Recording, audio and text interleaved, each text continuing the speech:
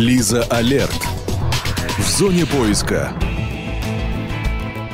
О потерявшемся Владимире Владимировиче сообщили вечером 15 сентября. Дедушка 79 лет ушел в лес из своего сада утром и до сих пор о нем ничего не известно. Пожилой мужчина был одет в камуфляжную одежду, где именно он зашел в лес, непонятно. Кроме того, у Владимира Владимировича слабый слух.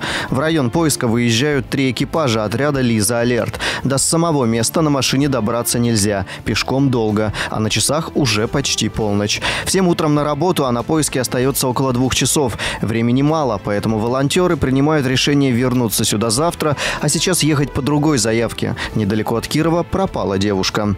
В 9 утра волонтеры вновь приступают к поискам. Опрашиваются в садоводы, анализируется местность в округе.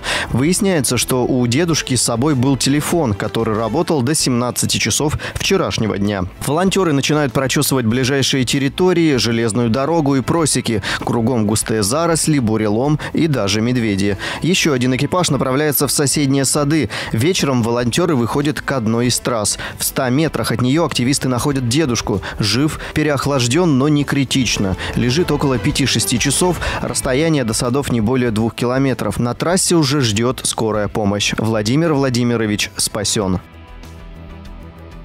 За три года работы в Кировской области отряд «Лиза Алерт» помог вернуться домой почти тысячи человек. Вы можете присоединиться к отряду и поддержать его другим доступным вам способом. Позвоните и узнайте подробности 410 424.